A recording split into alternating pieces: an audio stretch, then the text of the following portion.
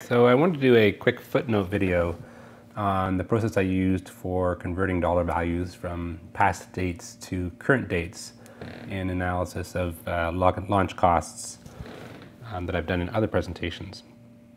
So the basic process I wanted to go through is, um, it's like several steps. The first step is to um, find and download consumer price index data. Um, we're going to be putting this into Excel.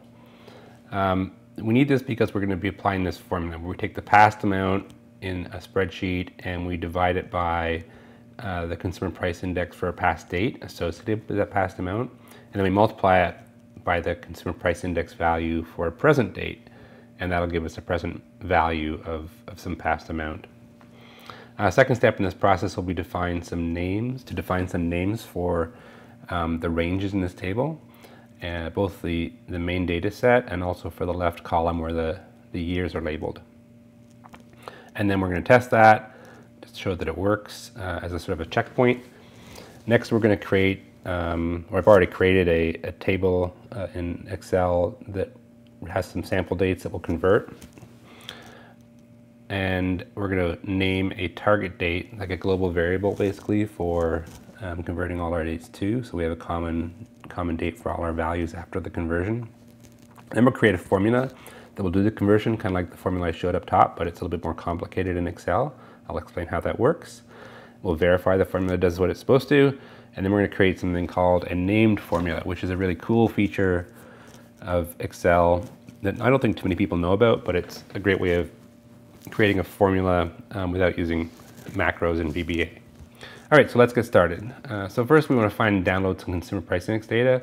We're going to search for this term here, converting values to account for inflation. Uh, that's how I found it for, in the first place. So let's go to Google and put the search term in, and we get this CPI inflation calculator. So there's basically a cool little calculator on this page that tells us um, how to convert between two different sets of values.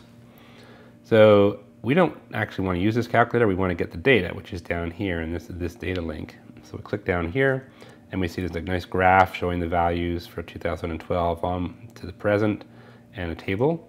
Now we want to get more years than this table is providing us right now, so we're going to go to this table, selecting value here. Let's drop down and pick the earliest possible year, which is 1913, and then we click this little go icon, and it creates a new fresh page and gets us consumer price index data all the way back to 1913 and a much larger table, which is what we're looking for. All right, now we click on this download link and it downloads the table. We can then open it.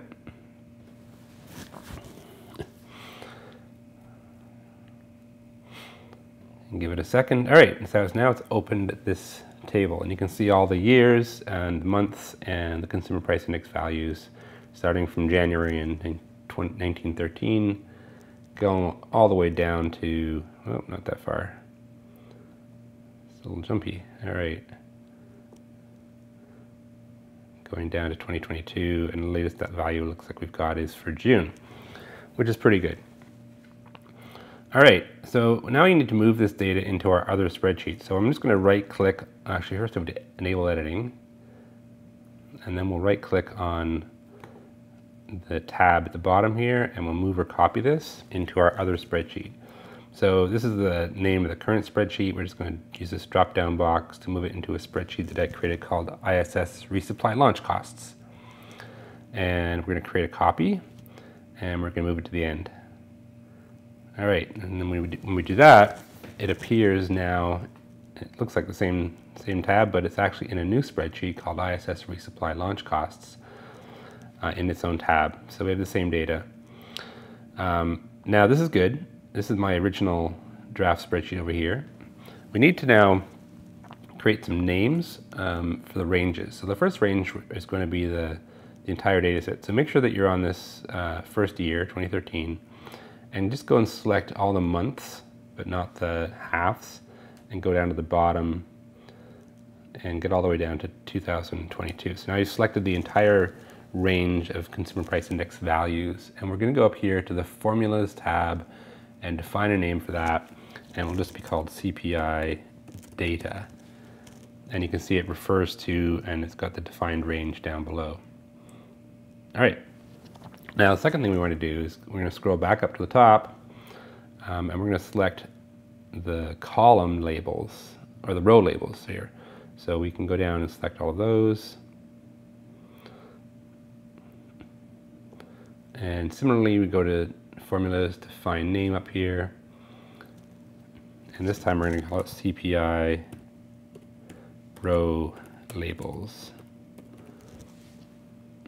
And click OK. So now I've created two new names. You can see them in the name manager if you like. There should be CPI data and CPI row labels. All right, so next let's go to the original tab and that's just tested all that worked. So we basically can go here and type equals and then CPI and we can see the two names that come up are offered to us. So first is CPI data, so let's select that and see what happens. See, it, it actually populates the entire table into our, our spreadsheet. So that is that seems to be working. So I'll control Z to back out of that and we'll try it again with CPI uh, row labels. And we'll double click on that, hit enter, and again we see we get all the rows um, showing up. So this basically tells us that our named ranges are working. All right, let's go back to our, our plan here, our master plan. Uh, we've tested our names.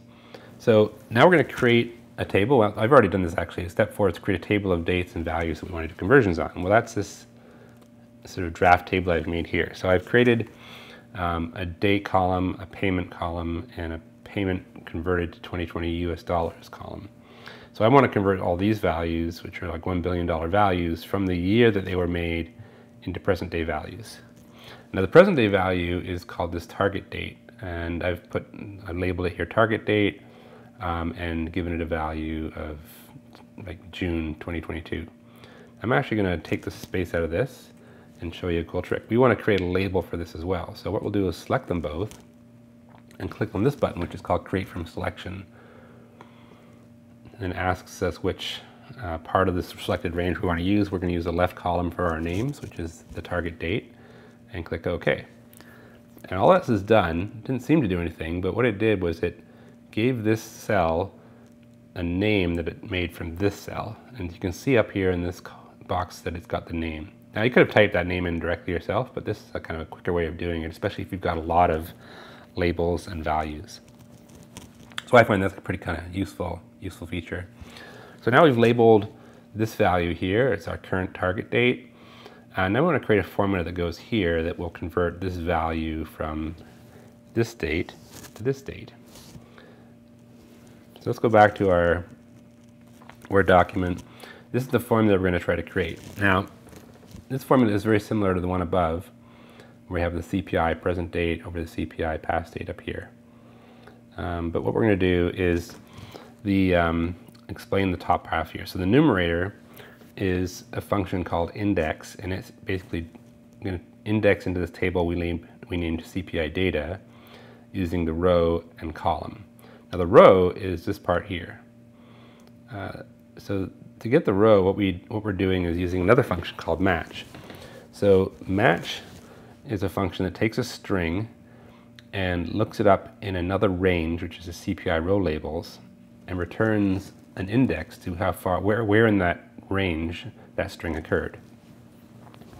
So we're going to, for example, give it a string that represents the date, um, and it's going to look up in our row labels, which is all the dates on the, on the left, that leftmost column, and it's going to return an index for which one matched.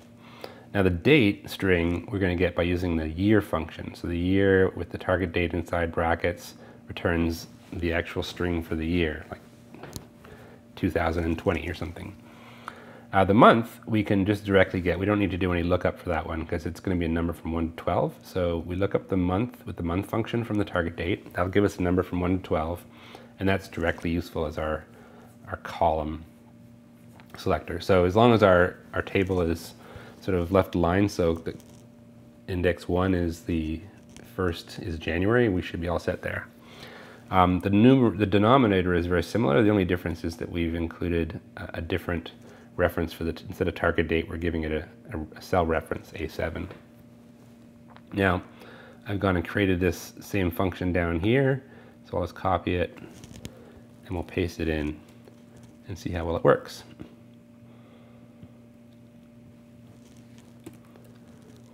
All right, so I've pasted it in, but right away we can see there's a small problem. The values I created in the original function were for different rows, so we're just going to change them to be B6. And over here, A6, A7 has become A6, and this A7 has to become A6. And now everything lines up. So now it's taking uh, the payment value, which is B6, and it's dividing by um, the consumer price index value that it's looking at from, actually divide is over here. So it's multiplying first by the consumer price index for the target date, which is this date, and then it'll divide out the consumer price index that looked up for our original date, which is A6. And let's see how that works. All right, so we got a value. So it turns out that $1 billion in 2009 is the same as $1.4 billion today, which is great. Uh, but now we're going to do the last step, which is to create a named function. So named function is really cool. All we need to do to do that um, is we copy the original formula here. Okay. And then while we're on the cell where that original formula existed, this is very important, we go and define a name for the cell. So this time we're going to call this name um, convert currency year. Or let's call it date because we're doing month and day. All right, and then we scroll down to the refers to section and instead of putting it to the cell, we're going to paste in the formula for the cell, which I just copied from before. And we hit OK. Now we get the same result, but what's, and really, really nothing has changed, even the formula in the original cell has changed. But what we've done is created a, a named formula, which is kind of a cool thing in the background. And it's sort of tied to this cell location. But now we can go in here and type equals and then convert uh, currency date, and you see it pops up there, right? And it will, I'll go back to formatting this, put commas in.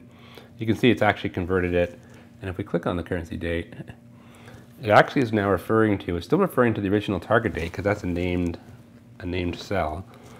But for the, the cells that were referenced, um, these are relative references, and so they moved along with our formula. So even though it's referring to this cell's formula, it's actually using the relative references, which is kind of cool.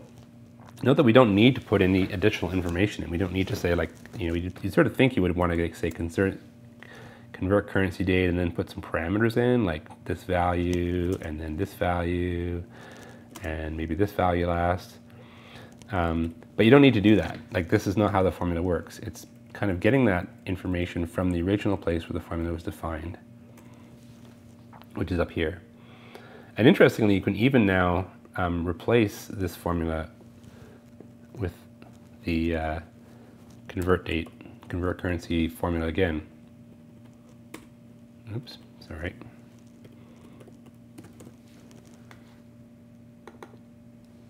And it will still continue to work. And you can slow these down. So the only issue with this is that it's you, know, you lose you kind of lose track if you don't if you forget what cell your formula was originally defined in and, and named in, then it is kind of tricky to um, edit the formula or anything like that. But the nice thing about it is that it doesn't use uh, Excel's VBA macros to do the formula. The, using macros is probably a more rigorous uh, way to create formulas. However, sometimes when you give the spreadsheet to somebody else, um, they don't work because of security con security concerns with macros. And also learning VBA and, and editing macros is kind of like a whole new skill for some people. So um, this might be a, an easier way for some people, although I think there are some certainly some limitations and challenges with this approach. But at least it works when you pass a spreadsheet to somebody else, which is kind of nice. All right, well that's all. I hope that helped. Take care.